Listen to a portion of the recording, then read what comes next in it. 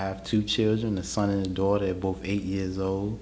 I'm also a Toastmaster, so I have my bronze certificate. My Fortis certification made a huge difference in my life now that I'm certified because not only is the salary cap released from me, but I also get to travel around. Now that I'm certified, it's a career. Well, the impact of me going back to school on my children was very influential. At times, my son, he would see me doing my homework, and he'll want to get a book and pretend, even if he finished his homework, he'll go get it and sit down with me and go over it.